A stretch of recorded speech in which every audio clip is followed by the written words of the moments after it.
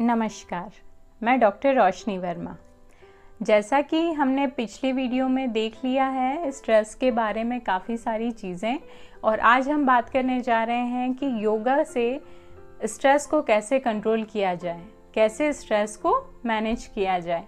तो जैसा कि हमने पहले के वीडियोस में अष्टांग योग के बारे में बात की थी यम नियम आसन प्राणायाम प्रत्याहार धारणा ध्यान और समाधि।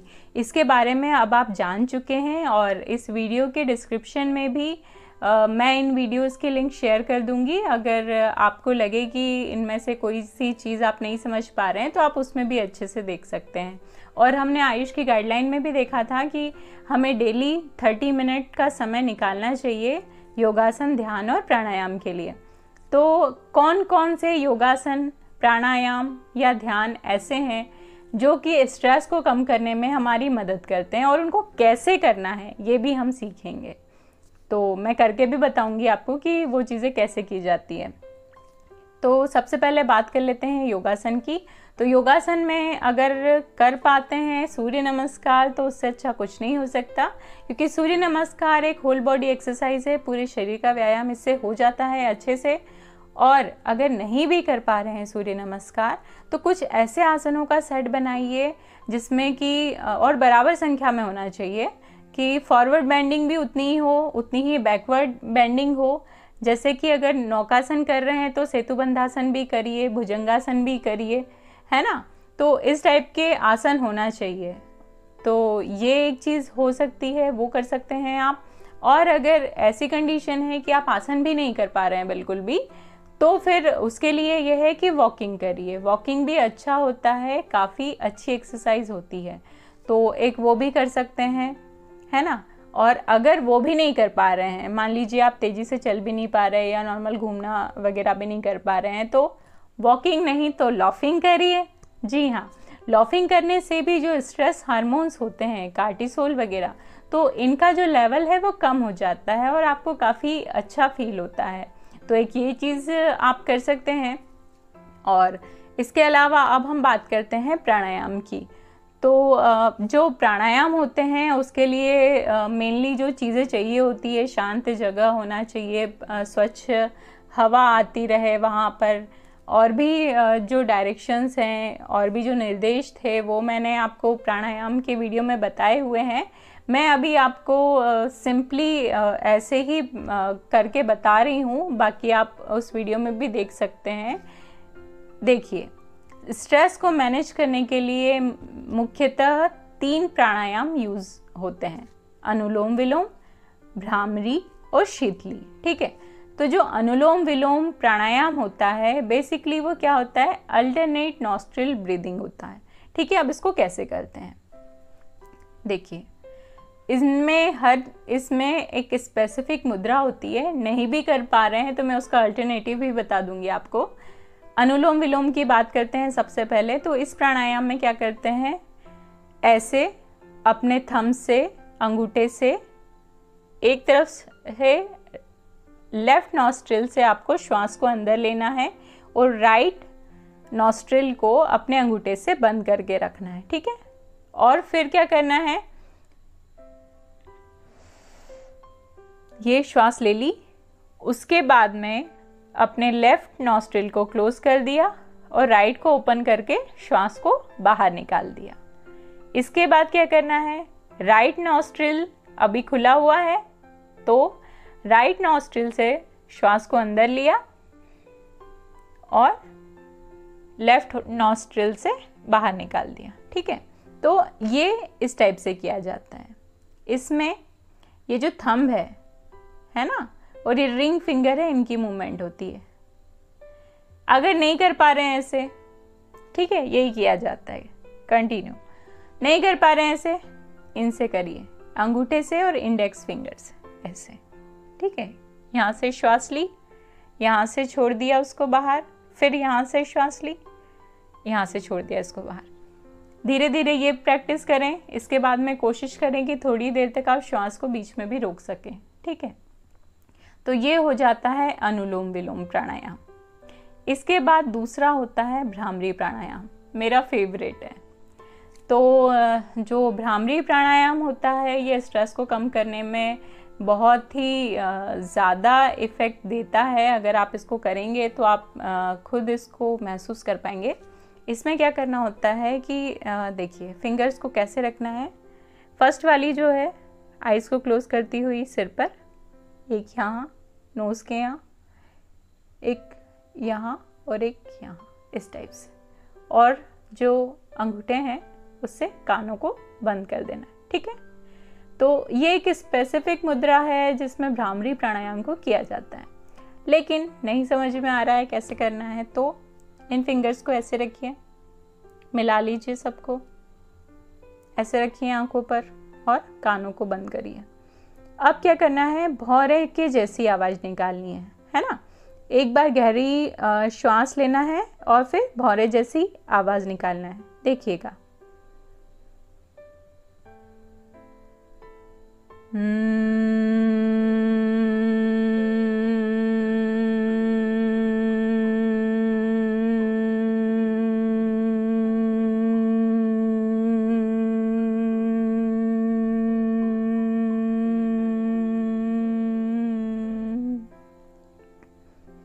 इस टाइप से।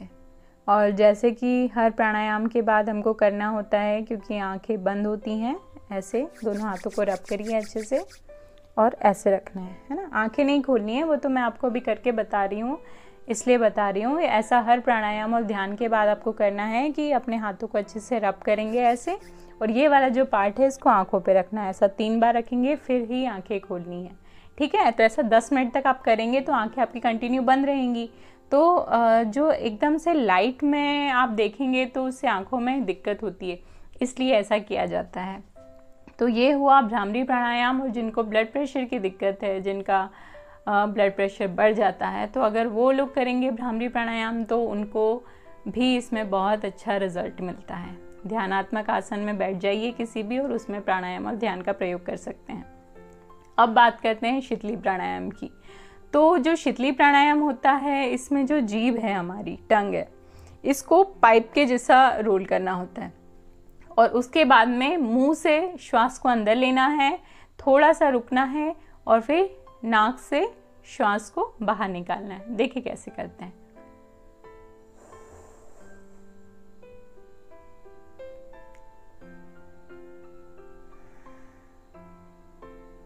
काफ़ी कूलिंग इफ़ेक्ट लगता है पूरे फेस में। आप जब करेंगे ना तो आपको समझ में आएगा। समर सीज़न के लिए बेस्ट है, जब भी ऐसे हीट फील हो या आप ये चीज़ करेंगे ना तो आपको बहुत ही अच्छा लगेगा। शीतकारी भी कर सकते हैं, लेकिन आप शीतली आसानी से कर पाएँगे। तो इसलिए शीतली करने की प्रैक्टिस आप कर सकते हैं। तो ये हुई प्राणायाम की बात। हमने तीन प्राणायाम देखे, अनुलोम विलोम, भ्रामरी और शीतली प्राणायाम। इसी तरह से ध्यान की अब बात करते हैं तो ध्यान आप कैसे भी कर सकते हैं, जैसे आपने आँखें बंद की, आईब्रोज के बीच में, है ना, नासाग्र पर, है ना, या तो फिर हार्ट बीट पर, है ना, और या तो एब्डोमिनल ब्रीदिंग कर रहे हैं तो उसमें आप जो पेट की मूवमेंट है, वो देख सकते हैं। और ये भी चीज़ ध्यान रखिए कि जैसे अगर आप प्राणायाम नहीं भी कर पाते हैं ना तो कम से कम गहरी और लंबी श्वास लीजिए, यानी एब्डोमिनल ब्रीदिंग करनी है।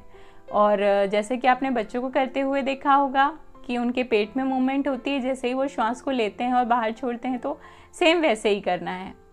क्योंकि जैसे जैसे हम बड़े होते जाते हैं, हम भूलते जा रहे हैं एब्डोमिनल ब्रीदिंग करना। तो वो काफ़ी रिलैक्सिंग होता है कभी भी, कहीं भी आप कर सकते हैं।